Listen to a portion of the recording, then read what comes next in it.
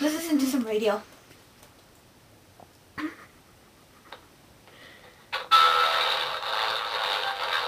Channel.